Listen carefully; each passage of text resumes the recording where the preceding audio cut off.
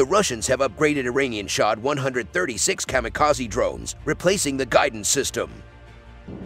As you know, these drones have an inertial guidance system, but in the latest devices, GLONASS control units were recorded.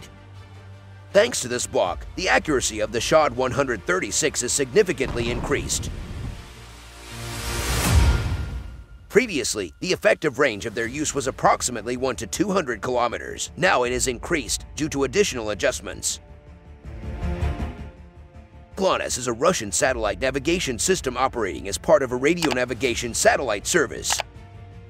It provides an alternative to Global Positioning System and is the second navigational system in operation with global coverage and of comparable precision.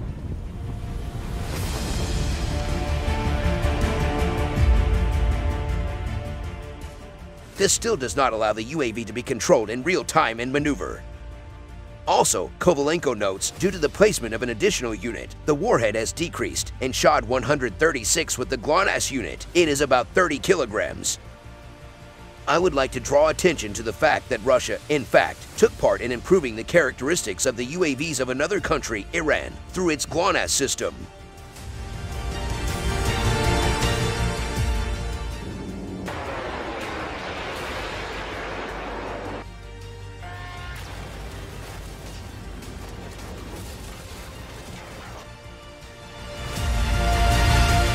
Russia has inflicted serious damage on Ukrainian forces with recently introduced Iranian drones in its first wide-scale deployment of a foreign weapons system since the war began. So far, the Iranian drones seem to have been mostly deployed in the Kharkiv region, where the 92nd Brigade and other Ukrainian forces carried out a major offensive this month, retaking some 8,500 square kilometers, or roughly 3,300 square miles, of land occupied by Russia and seizing or destroying hundreds of Russian tanks, artillery pieces, and armored carriers.